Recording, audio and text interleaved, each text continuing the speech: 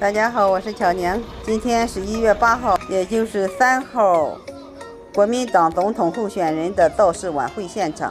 前面我已经直播了两场给大姑和大姑父看，两位老人家激动的两个晚上都睡不好觉。我说大姑，我们暂停不看了。大姑父说一定要看看国民党的造势晚会，因为国民党在他的脑海中是一个历史悠久的大党，他的期望值很高。但是这个党的区别就是跟年轻的党不一样，年轻的党都是很赶潮流的，他们在。正式晚会以前三四个小时就已经热场了，这样的老党还是按老一套，天黑才开始。我之所以今天才上传这些影片，因为十二月三十号是白党，一月六号是绿党，一月八号才是蓝党。我已经在跟姑姑连线了，还没开通。姑姑已经开通了，在叫大姑父。大姑，你看。这是国民党造势晚会，这个党你应该熟悉过哈。大姑父，哎哎，哎，你怎么也把牙齿拿下来了？洗牙了，准备睡觉了。国民党就像你们老人家一样，他不会像一些年轻的党，下午早早的开幕，让大家先看看热闹，先热场。他弄到这样半夜才开幕，你看你都要躺下睡觉了。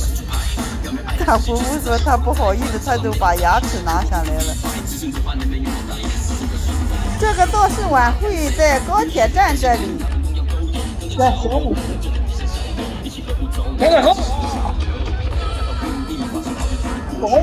对，这些灯都是些小指扣，可以戴在手指头上。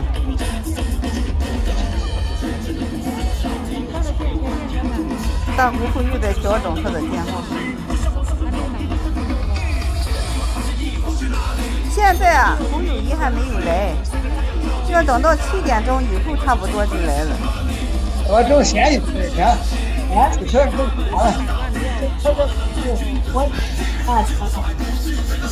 他这里选举都是找一些年轻人上来跳舞唱歌，因为这个时候候选人还没有到。所以大家在这喊喊动转，热闹一下。怎么回事？没怎么回事，他们在呐喊动转，是炒热现场的气氛。有个人留言说：“为什么不先播国民党的造势现场？”那不论号码是一二三，大家别挑理。十二月三十号我就拍了柯文哲的造势现场，我是在等一月六号的绿色。还有一月八号的蓝色，这三场造势活动我都拍了，我才能上传了。我对三场不做任何评论，只要两位老人家开心的看就好啊。我们怎么能够让所有的朋友变成一言堂，对不对？对。今天约谈其他大姑说了，台湾的选举活动比电视剧还好看。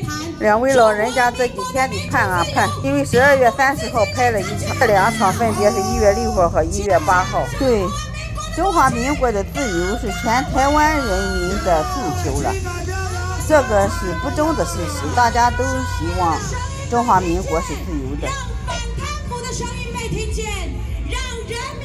大姑父说，现场声音大，他还是有点听不见。大姑根本就是。要大姑父给他讲解。啊，大姑父是民国出生的人，现在看中华民国在这选总统，竟然没有你的份儿。我真不知道大姑父心里怎么想，为什么要一定要看看中华民国选总统？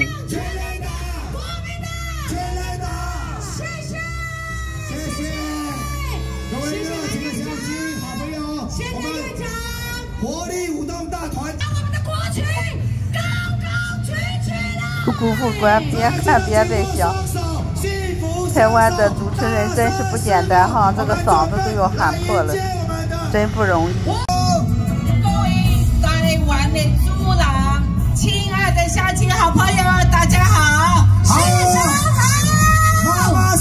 姑姑，这个人叫做卢秀燕，是台中的市长。他说：“各位台湾的主人、乡亲，大家好。”始办理初选，决定要提名总统候选人。他当当时也有很多人支持我，劝进我，叫我选总统，甚至有些人帮我联署。但是我怎样的啊？拍到这里已经是第三场的台湾造势晚会了。大姑和大姑父因为下大雪的原因，两个老人家都不能下楼。每天早上吃完饭就在想跟侄女连线，让我拍台湾给他们看。他们喜欢台湾的公园，看我去捡无患子，他们就一直盯着看。我就拍我们这边的菜市场给他们看。但是最最喜欢喜欢看的还是台湾的选举，他理解成人民代表。我说人民代表是上边指派的，我们这里的议员或者是立委，连个里长都没有人指派，都要我们投票选举。所以我们这里的选举是多么的神圣，这里的选票都在自己手中，谁自己说了算。八加一，大姑父他说全雷达，全雷达就是当选的意思，因为他们这打棒球有一个名称叫做全雷达。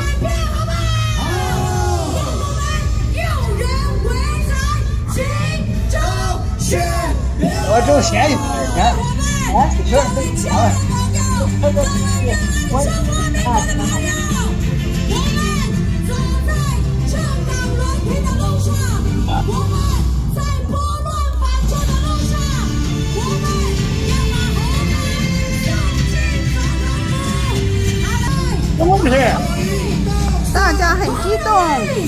起来喊“动算”，希望当选。他喊的是侯友谊动算，就是当选的意思。大姑姑听不懂，说这是干什么？现在侯友谊快来了，只要候选人来了，这个晚会就快结束了。大姑又过来看了，要看候选人。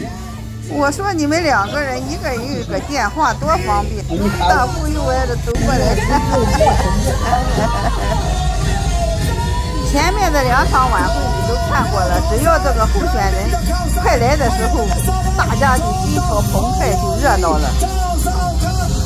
这不，他上来了，也是很多的随从。只要是总统候选人，国家都会派派随从来保护。好了，差不多了。只要总统来了，我们就赶快撤了。撤的晚了就会出不去。好了，大姑父后边我录给你看。再见，再见。大姑父看完了中国国民党造势晚会，也说了一句话：姑父没有看到真正的台湾，对国民党的印象还停留在以前的印象。今天看了这三场的台湾的造势晚会，姑父只说了两个字：枉然啊。姑父很多话。都在私下跟我表达，我对这三档不做任何评论，不偏不倚，只是为了让高龄的二老了解我在台湾的生动算是每个台湾人不可缺少的生活之一。希望大家正确面对，更加珍惜我们台湾的民主自由何等的可贵。